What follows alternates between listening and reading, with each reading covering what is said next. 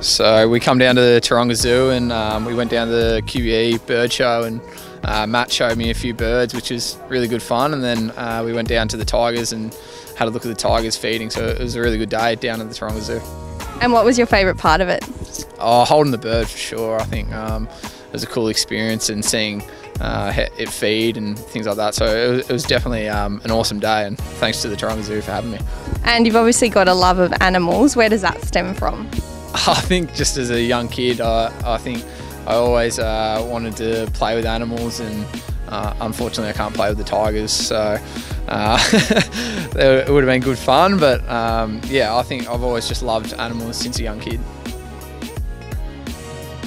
Obviously we've got Richmond this Thursday night. The Tigers out there look pretty ferocious that we are looking at today. Do you expect similar on Thursday night? Yeah, definitely. I think they're a good side, the reigning premier, so um, you can't you can't take anyone lightly, and it should be an interesting game. I'm excited for it.